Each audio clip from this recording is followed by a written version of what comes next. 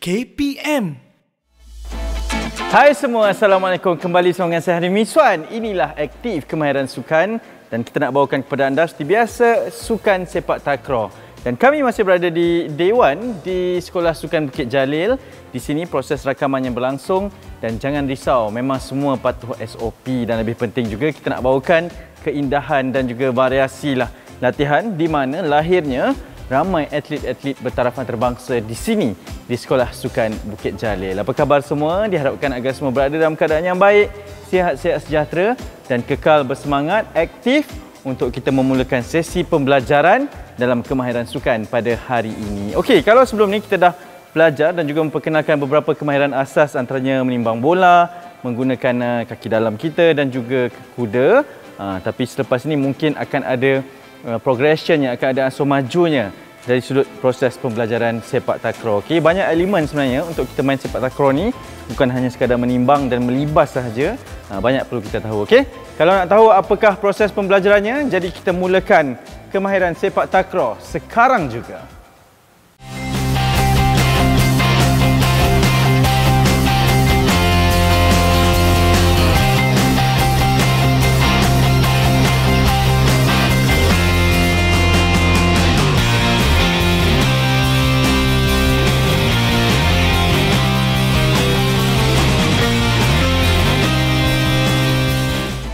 Kita masih bersama dengan Coach Putra Gani. Coach apa khabar? Alhamdulillah baik. Uh, seorang bekas pemain kebangsaan dan kini seorang jurulatih di Sekolah Sukan Malaysia Terengganu. Coach, terima kasih kerana sudi bersama kami. Mungkin di episod ketiga ni sebelum kita memulakan apakah topik pembelajaran ini saya nak tanyakan pengalaman.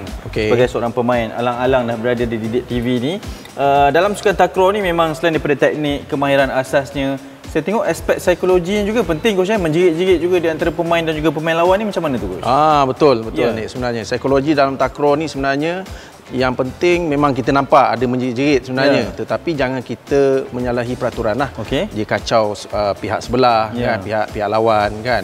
Jadi kita boleh antara kita tiga pemain tu saja. Tetapi Ah. sebenarnya psikologi itu untuk kita meluahkan rasa happy dalam gelanggang. Ya. Itu antara strategi Ya. dalam sepak takraw. Dan dan uh, apabila ada trio kan tak- takraw ni main bertiga kan. Okey. Uh, persefahaman di antara ketiga-tiga pemain tu sangat penting coach. Itu elemen yang sangat penting dalam sepak takraw. Itu Ya. antara komunikasi yang perlu difahami untuk ketiga-tiga posisi Mhm. dalam kita mencapai kejayaan. Ya, nama pun sukan berpasukan. Betul. Uh, apatah lagi bukan sahaja perlu hibat handal bermain takraw ni, tapi juga perlu ada komunikasi. Itu yang cuba kami terapkan juga. Jadi coach, apakah teknik pembelajaran yang akan kita ajarkan pada episod kali ini? Okey, dalam episod kali ini kemahiran menanduk sebenarnya. Ya. Kemahiran menanduk ni juga adalah salah satu kemahiran yang lain seperti kemahiran sepak sila. Ya. Dalam episod yang pertama Ya. dan lepas tu yang kedua uh, iaitu uh, ke kuda. Ya. Okey, dan uh, kemahiran ini juga merupakan adalah kemahiran asas Ya. dalam mana-mana murid Mhm. mm-hmm. Ataupun sesiapa saja yang nak bermain sepak takraw wajib menguasai kemahiran ini. Betul. dia Iaitu boleh ya, menanduk lah. Menanduk Ah. dan dia boleh digunakan untuk menyerang dan juga kadang-kadang bertahan pun boleh kan? Ya. Ah, nak petik bola tu guna Betul, kepala pun boleh. Jadi betul. perlu ada teknik dan juga kemahiran yang betul. Jadi itu yang akan coach berikan dan kita nak mulakan terlebih dahulu dengan akti- aktiviti memanaskan badan. Tapi sebelum itu suka untuk saya ingatkan bahawa dalam kemahiran sukan, riadah dan juga rekreasi serta aktiviti fizikal dibenarkan untuk tidak memakai pelitup muka. Yang penting patuh kepada SOP. Betul coach eh? Betul. Okey, jadi kita mulakan kemahiran sukan sepak takraw sekarang. Baik, untuk kemahiran yang seterusnya iaitu kemahiran menanduk. Sebelum kita mulakan kemahiran menanduk, kita kena mulakan dulu dengan warm up ataupun persediaan sebelum uh, melakukan kemahiran iaitu pemanasan badan. Aspek pemanasan badan sangat penting dalam apa-apa jua sebenarnya sukan termasuk sukan sepak takraw. Jadi, elemen uh, pemanasan badan ni ialah juga untuk mengelakkan kecederaan, menaikkan uh, suhu badan supaya kita lebih sempurna melakukan kemahiran dan lebih rasa sesuai apabila melakukan kemahiran, kemahiran semua kemahiran dalam sepak takraw. Dan aktiviti yang pertama iaitu uh, neck uh, stretching sebenarnya. Yang pertamanya hanya duduk seperti yang anda lihat saya sekarang ini dan uh, hanya tolak saja kepala ke atas sebanyak 10 kali dan ke bawah uh, sebanyak 10 kali. yang saya akan tunjukkan. Okey, kita akan bersedia tolak ke atas 10 kali dengan kiraan 1 hingga 10 dan uh, tolak itu perlu hanya dalam keadaan just uh, hanya biasa saja, tidak terlalu kuat dan mengikut keselesaan murid-murid sebenarnya. Okey, atas uh, 10 kali dan bawah uh, 10 kali. Okey, jadi saya minta kepada uh, Hakim dan juga Rizani untuk bersedia melakukan aktiviti yang pertama iaitu neck uh, stretching. Silakan. Okey, dalam keadaan bersedia dan tangan berada di bawah dagu dan uh, seperti yang saya katakan tadi lembut hanya relax tenang saja. Okey, tolak ke atas dengan kiraan saya 1 2 3 4 5 6 7 8 9 10 dan ke bawah 1 2 3 4 5 6 7 8, 9, 10. Untuk aktiviti ini hanya tolak mengikut kesesuaian murid-murid di rumah dan tidak terlampau memberi tekanan sebenarnya kepada next sebab kita nak buat untuk kemahiran menanduk. Begitulah untuk aktiviti yang pertama untuk pemanasan badan iaitu neck stretching.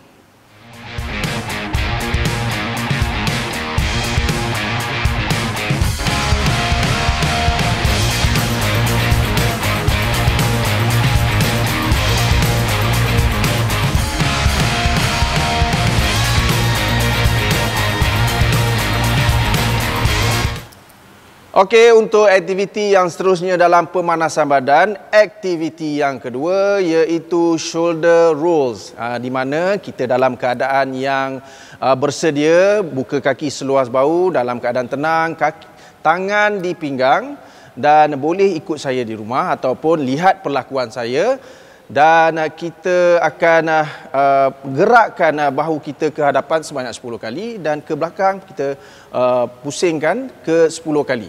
Okey, dan saya akan tunjukkan 1 2 3 4 5 dan uh, kita akan uh, ke belakang pun sama dengan kiraan 10 akan ditunjukkan oleh Rizani dan juga Hakim. Okey, kita akan tengok.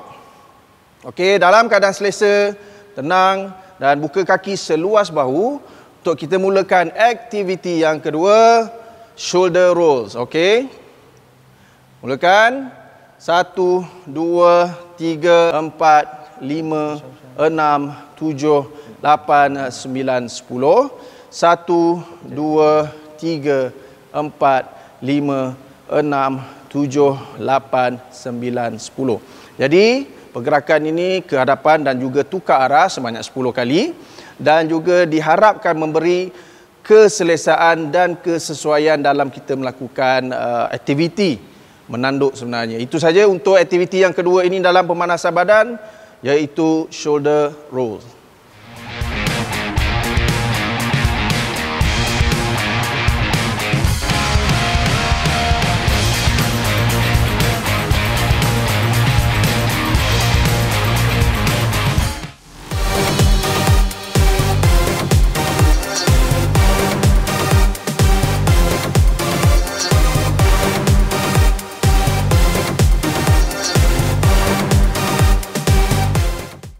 Okey, selepas kita melakukan pemanasan badan sebentar tadi, dua aktiviti penting itu tadi, seterusnya kita akan pergi kepada uh, ansur maju yang pertama dalam kemahiran menanduk. Jadi ke, dalam kemahiran menanduk ini sangat mudah untuk kita lakukan kepada mereka ataupun murid-murid di rumah untuk menguasai kemahiran ini. Dalam uh, ansur maju yang pertama ini, uh, saya tidak menggunakan bola, untuk menunjukkan cara-cara ataupun lakuan yang paling penting seperti biasa dalam kita uh, keadaan bersedia dan kita rasa selesa sebelum kita buat ansur maju ini dan pastikan fokus uh, eye contact dan anda melihat perlakuan saya dalam ansur maju pertama supaya kita dapat menguasai kemahiran ataupun ansur maju ini dengan lebih baik. Okey, dalam keadaan bersedia kita hanya uh, relax dan juga uh, bukaan kaki seluas bahu. Anda boleh uh, bersedia dan selesa dan uh, tidak menggunakan bola, hanya mendongak ke atas supaya kita dapat mengapungkan bola kerana uh, mengharapkan uh, objektif sebenarnya untuk dapat uh, bola tersebut uh, ke atas. Jadi dalam keadaan uh, ketiadaan bola, saya akan tunjukkan uh, tolak ke atas, kaki dijengkitkan, lutut dibengkokkan untuk kita dapat mengapungkan bola dengan mudah. Okey? Jadi untuk aktiviti ataupun ansur maju yang pertama ini sangat mudah dan kita mengenal pasti teknik-teknik yang perlu dalam kemahiran menanduk.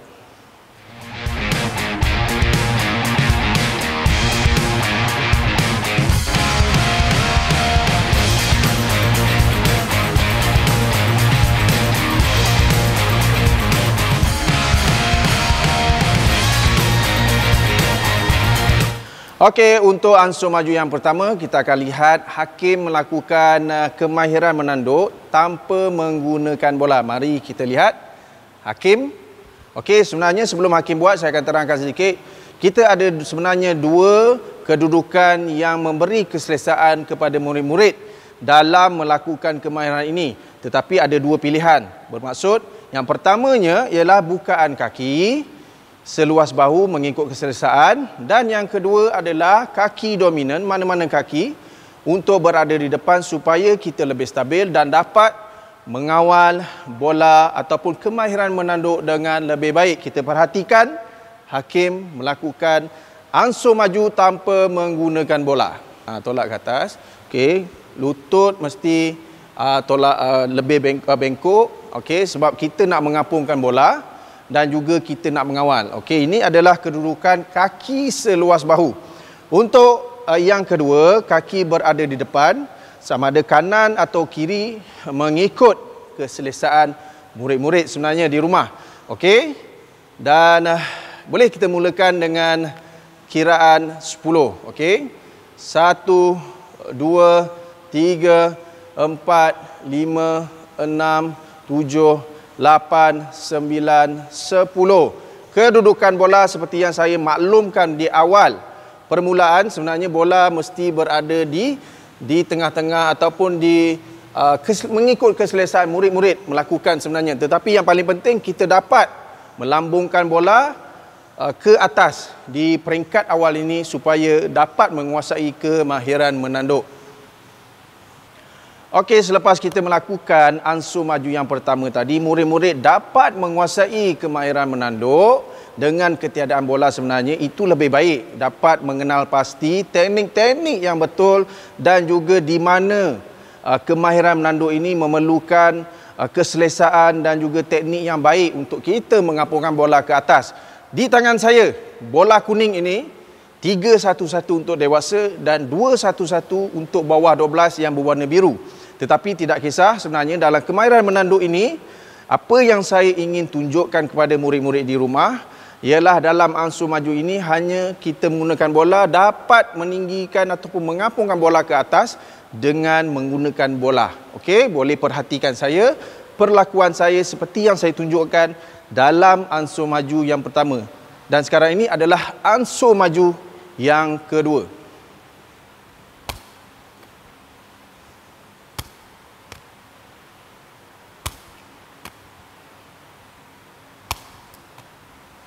Okey, baik.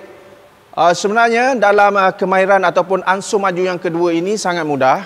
Okey, jadi kita hanya baling uh, dengan uh, uh, tangan yang lurus dan mengikut keselesaan murid-murid di rumah untuk kita dapat mengapungkan bola ke atas sebenarnya.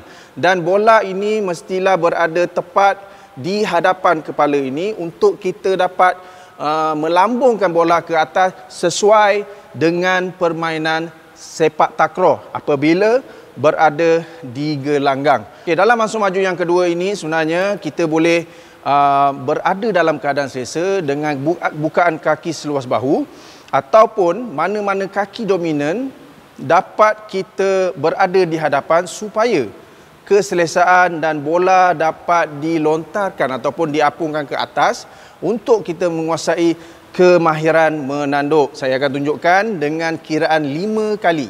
Okey, dengan bukan kaki seluas bahu terlebih dahulu. Okey, lebih kurang empat ataupun lima kali dan kita akan lihat pula dengan eh, kaki dominan ataupun mana-mana kaki mengikut kesesuaian murid-murid di rumah. Eh, kaki kiri saya akan gunakan kaki kiri. Okey.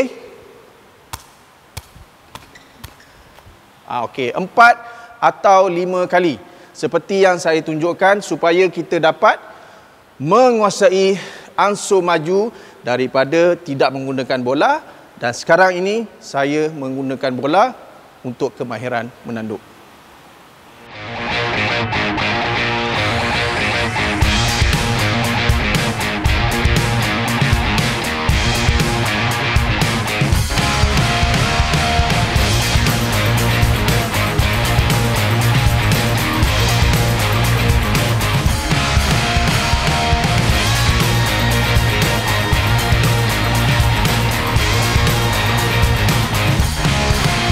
Okey, untuk ansur maju yang kedua ataupun aktiviti yang kedua, kita akan menggunakan bola.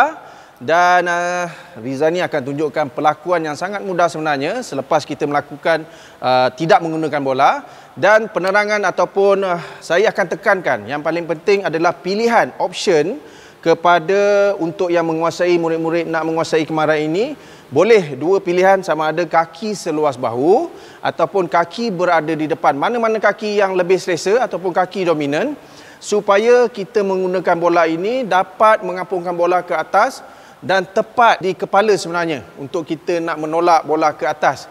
Uh, kita akan lambungkan. Jadi kita akan perhatikan dengan uh, kiraan supaya uh, dapat Rizani tunjukkan pelakuan yang betul. Okey.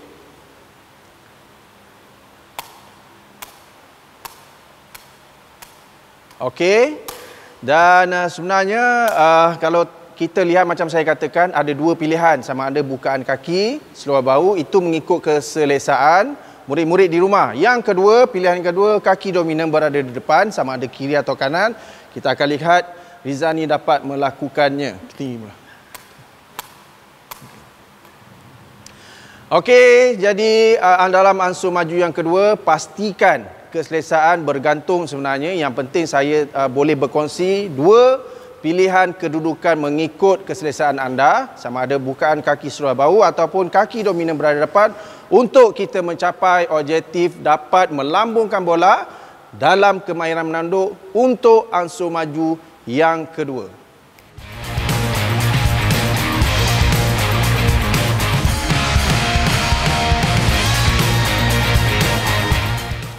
Okey, dalam aktiviti yang seterusnya, aktiviti yang ketiga ataupun ansur maju yang ketiga ini adalah saya akan uh, menggunakan uh, Izani dan juga Hakim untuk ansur maju yang ketiga supaya kita dapat menguasai dengan keselesaan murid-murid di rumah untuk kemahiran menanduk. Sebelum itu, kita akan cuba Izani akan melambung bola terlebih dahulu kepada Hakim supaya hakim dapat melambungkan bola tepat kepada kontak bola yang sesuai di kepala untuk lambungan bola. Selepas itu barulah kita akan lihat uh, kawalan bola dengan kemahiran menanduk secara berpasangan. Kita akan lihat. Kita akan test dulu ataupun kita buat uh, demo kepada balingan daripada Zani kepada hakim sebanyak tiga kali. Okey dan dalam keadaan kaki seluas bahu jarakkan sedikit. Jarakkan sedikit. Okey cuba uh, bukan kaki untuk seperti tunggu first ball dan kita naikkan bola. Okey. Okey satu, dua, tiga, empat. Okey. Uh, di sini kita akan lihat uh, bermakna murid-murid boleh mengenal pasti kontak bola uh, di mana kontak bola yang sebenar dalam kita mengapungkan bola secara berpasangan. Dan juga kedudukan kaki teknik kaki dalam mengapungkan bola itu yang sangat penting. Walau bagaimanapun murid-murid perlu merasai sendiri pengalaman dalam menguasai kemahiran menanduk ini dalam ansur maju yang ketiga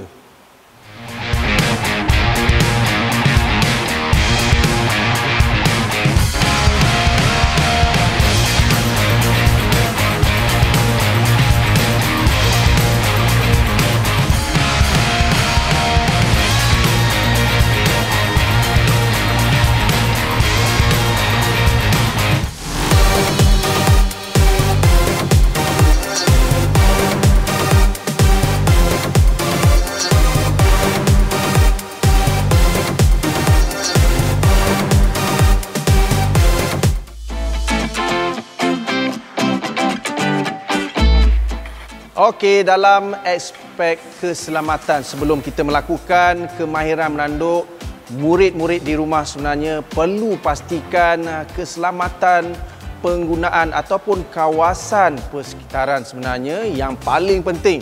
Kerana aspek ini sebenarnya untuk menjamin keselamatan anda dan juga kita mengelakkan kecederaan dalam melakukan apa-apa sukan. Termasuklah sukan sepak takraw kerana kemahiran menanduk ini memerlukan kawalan bola yang sangat penting.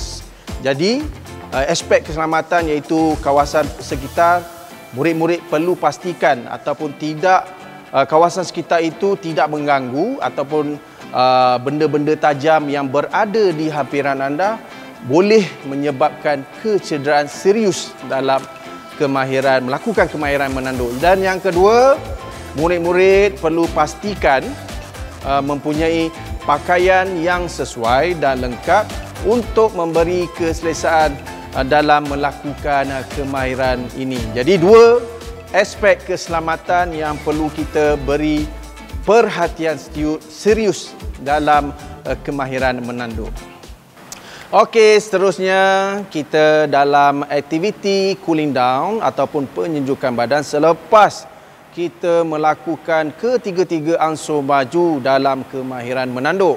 Untuk aktiviti cooling down ini, dua uh, aktiviti yang saya akan terangkan iaitu aktiviti yang pertama adalah uh, neck uh, stretch dan yang kedua juga adalah uh, shoulder uh, stretch. Okey, sangat mudah uh, untuk dipraktikkan sebenarnya. Kalau di peringkat awal pemanasan badan kita menolak ke belakang dan juga ke hadapan. Dan sebenarnya pada cooling down ini hanya ke kanan dan ke kiri saja. Untuk kita lihat pelakuan yang seterusnya saya persilakan pada Izani dan juga Hakim dengan kiraan 10 ke kanan dan ke kiri. Okey? Dalam keadaan bukaan kaki yang selesa okey uh, seterusnya uh, tolak ke kanan uh, ke kanan okey menggunakan uh, tangan kiri okey dengan kiraan 10 okey boleh mulakan. Zani dan Hakim. Okey tolak kepala ataupun seperti Zani lah. Uh, macam Zani okey. Satu, uh, dua, tiga, empat, lima, enam, tujuh, lapan, sembilan, sepuluh. Ke kanan. Satu, dua, tiga, empat, lima, 6, 7, 8, 9, 10. Begitulah aktiviti yang pertama untuk aktiviti cooling down ataupun penyejukan badan.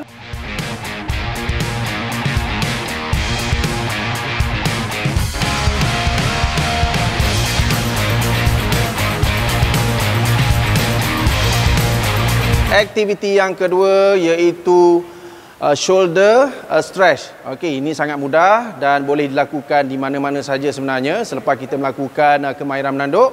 Just ataupun kita berada dalam keadaan selesa, tangan di sisi ataupun tangan di atas seperti yang saya lakukan dan kita cuba tolak ke belakang. Eh, dengan kiraan 10 atau 8 atau 10 dan selepas itu kita akan tukar di sebelah tangan kiri pula. Okey, kita akan lihat pelakuan daripada Iqzani dan juga Hakim dalam keadaan bukaan kaki yang selesa tangan kanan dan kita akan tolak shoulder ataupun uh, tangan kita ini dengan kiraan 10 1 2 3 4 5 6 7 8 9 10 tukar tangan kiri. 1 2 3 4 lima, enam, tujuh, lapan, sembilan, sepuluh. Okey, sebenarnya dalam aktiviti ataupun cooling down yang kedua ini, kenapa penekanan cooling down di bahagian kalau kita katakan uh, shoulder uh, stretch ini kerana kemahiran menanduk ini melibatkan bahagian uh, upper body ataupun di kawasan uh, sekitar uh, tengkuk dan juga uh, bahu. Jadi uh, cooling down menggunakan otot-otot yang seperti yang ditunjukkan oleh Izani dan juga Hakim sebenarnya membantu untuk mengelakkan kejederaan. Baiklah itulah cooling down, aktiviti cooling down uh, bagi aktiviti yang kedua.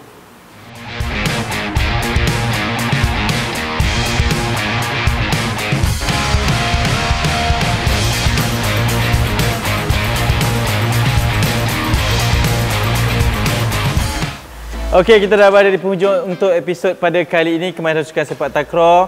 Kemahirannya adalah menanduk. Coach, uh, jadi mungkin uh, daripada apa yang coach ajarkan tadi dan ditunjukkan oleh kedua-dua atlet kita ni, apakah objektifnya coach yang coach ingin sampaikan? Okey, objektifnya tetap sama dengan uh, uh, kemahiran-kemahiran yang lain. Yeah. Sebenarnya uh, kalau kita tengok pada episod 1 dan 2, sebenarnya yang paling penting adalah kita dapat uh, menguasai kemahiran tersebut dengan mengawal secara konsisten yeah. dan juga kita mengenal pasti teknik-teknik dengan lakuan yang betul. Yeah. Kontak bola, contoh kemahiran uh, apa ni sepak sila kontak kaki dalam. Mm-hmm. Tetapi kemahiran menanduk ini kita akan merasai kontak bola di kepala. Ya, betul. Okey coach, uh, mungkin ada kebimbangan juga melihat kepada sebab kita menggunakan kepala kan okay. dengan bola sepak takraw yang sebegitu. Jadi untuk melegakanlah kan. Nah, jadi apa uh, saranan coach untuk melakukan sesuatu ni dengan teknik yang betul supaya tidak berlaku kecederaan coach? Uh, Okey, seperti yang saya katakan sebenarnya hmm. kita perlu ada ilmu, ada hmm. ataupun panduan sebelum kita melakukan ini supaya kita dapat mengelakkan kecederaan. Yeah. Ataupun yang lebih baik lagi kita mencari bola yang kita rasa selesa yeah. dengan uh, kemahiran yang kita tunjukkan mm-hmm. teknik yang betul itu betul. yang paling penting bola mengikut kesesuaian betul tapi yang saya yeah. tunjukkan bola tersebut tu adalah dalam permainan sepak takraw betul dan ikut kemampuan juga mengikut kemampuan ikut tahap masing-masing lah uh, kita ada ansur majunya daripada yang mudah sehinggalah ke tahap yang lebih sukar. Coach, terima kasih banyak. Sama. Terima kasih juga kepada Rizani dan juga Hakim bersama dengan kita untuk episod kali ini. Tapi mereka akan terus bersama dengan kita dalam kemahiran sukan sepak takraw. Seperti biasa, Coach, dalam kemahiran sukan ni, kita tinggalkan dengan kata-kata semangat. Silakan. Sepak takraw is fun. Mantap. Jumpa lagi senyum selalu. Assalamualaikum. Bye-bye.